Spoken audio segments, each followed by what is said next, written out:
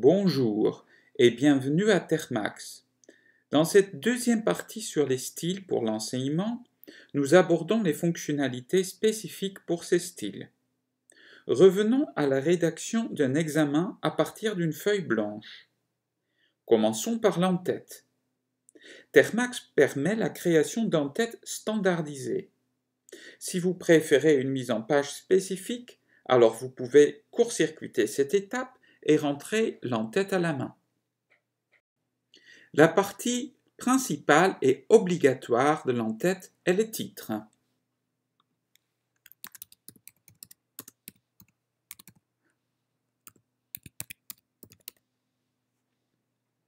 Des informations supplémentaires sur l'examen peuvent être spécifiées via le menu suivant.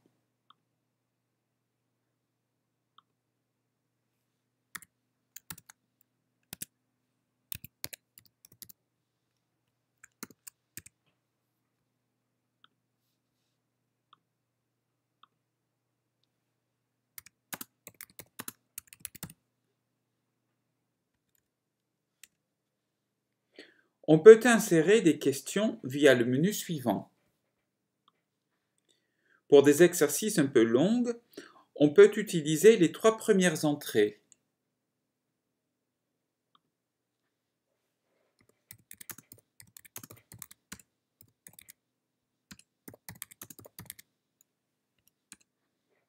Pour des questions plus courtes, on peut préférer les autres entrées.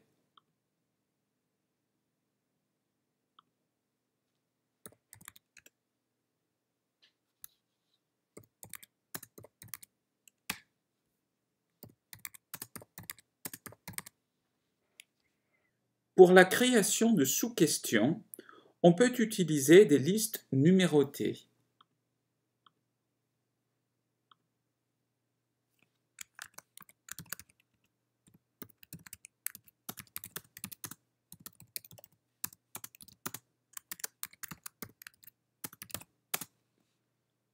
Ici, on arrive au premier endroit où on aimerait créer un texte à trous. Pour cela, on peut utiliser le menu suivant ou simplement le raccourci.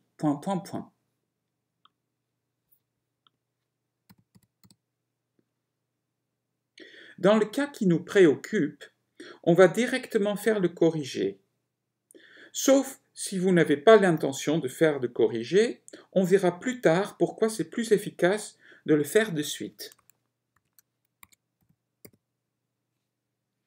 Profitons-en pour examiner les différents styles de trous qui sont disponibles. En utilisant CTRL Tab, on peut parcourir ces différentes variantes. Souligner, boîte, pointillé. Dans les options de style, on peut aussi spécifier une police pour le corriger.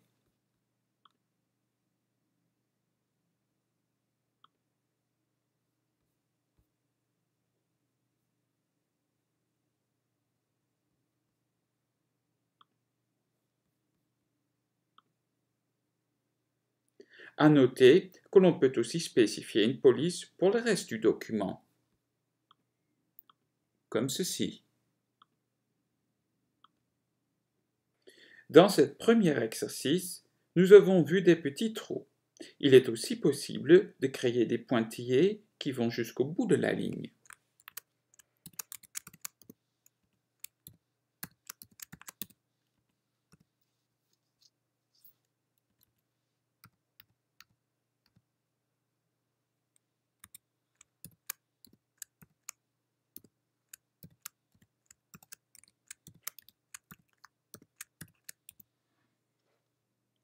On peut aussi faire des pointillés sur plusieurs lignes.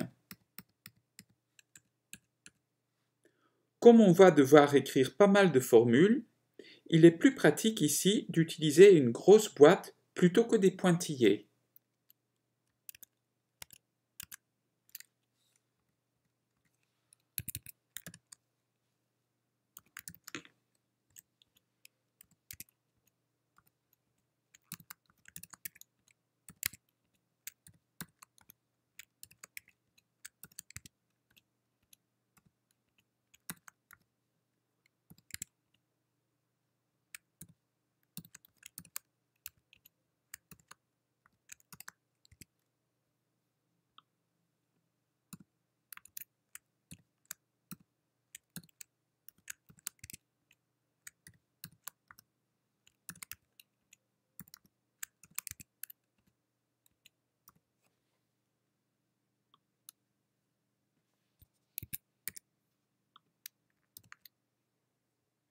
Venons-en maintenant au QCM. Une réponse au choix multiple peut s'insérer à partir du menu suivant.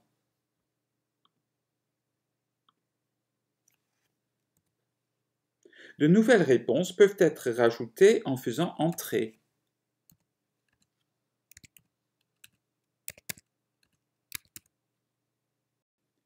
On peut sélectionner ou désélectionner une réponse en cliquant dessus.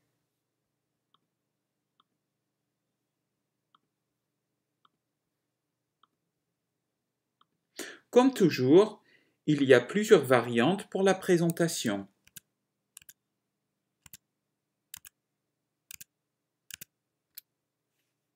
On peut aussi personnaliser le type de boîte à utiliser.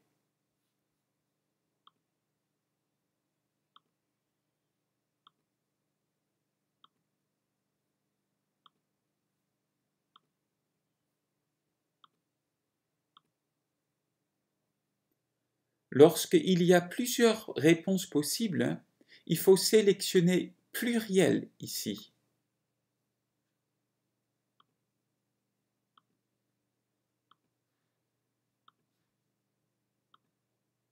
Voilà, on a fini notre feuille d'exercice. Ayant fait le corriger, il est maintenant aisé d'extraire les exercices sans les réponses.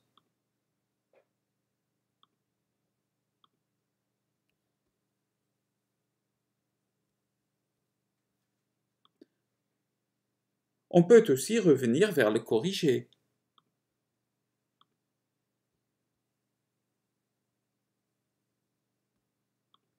En d'autres termes, dans le même fichier, nous avons essentiellement le devoir et le corrigé. Pour approfondir ce mécanisme d'extraction, considérons maintenant une autre feuille d'exercice qui provient essentiellement du projet Animat.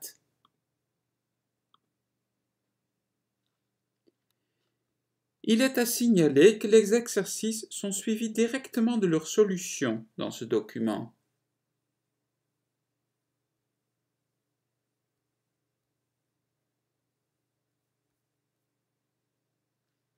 On peut alors extraire à loisir les questions seules, les réponses seules et les questions avec leurs réponses.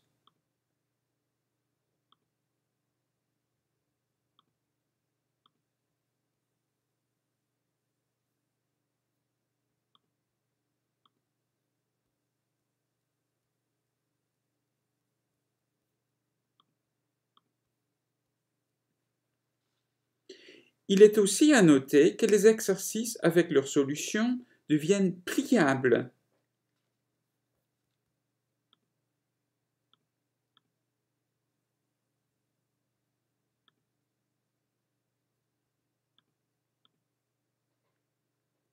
Merci, c'était tout pour cette fois-ci.